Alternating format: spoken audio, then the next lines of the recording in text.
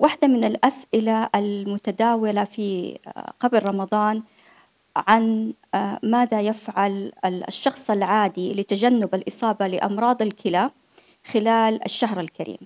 طبعا دائما نقول أنه حافظوا على صحتكم لأن الصحة هي تاج على رؤوس المصحين. بالنسبة للنصائح هي النصائح التي يجب اتباعها في جميع الأيام وخصوصا في الأيام التي يكون فيها صيام هي عبارة عن أن التأكد من شرب سوائل بكميات كافية. هذه لا تقل عن لترين في اليوم. وعندما أقول سوائل أنا أتكلم هنا عن الماء ما أتكلم عن المواد اللي يكون فيها كافيين مثل الشاي والقهوة أو المواد التي تعتبر آه، مثل المدرات زي مثلا النعناع والبقدونس ولا البيرة وهذه الأشياء اللي يكون فيها آه، أشياء مدرة هنا نتكلم عن الماء لا يقل عن لترين. آه وواحدة من الأسئلة آه، تجيني تقول لي طب كيف أتأكد إنه أنا كمية السوائل الموجودة في جسمي كافية؟ فأنا دائما أقول لهم راقبوا لون البول. إذا كان لون البول يكون شفاف مائل إلى قريب من الماء معناه أنه كمية السوائل في جسمكم كفاية. هذه بالنسبة للنصيحة الأولى. النصيحة الثانية هي عبارة عن الغذاء الصحي.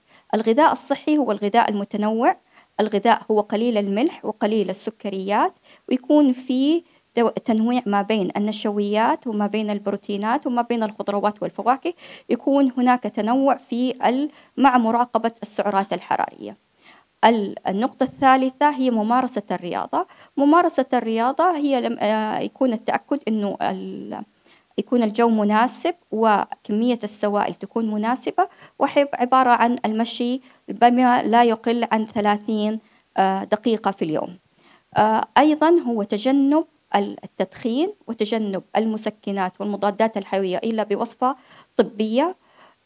النقطة السادسة هي الفحص المبكر. إذا كنت أنت من أحد المصابين بالسكري أو الضغط أو السمنة المفرطة أو لديك تاريخ عائلي من القصور الكلوي فيفضل أيضا الفحص عن وظائف الكلى وهذا يتم آه، بشكل سنوي.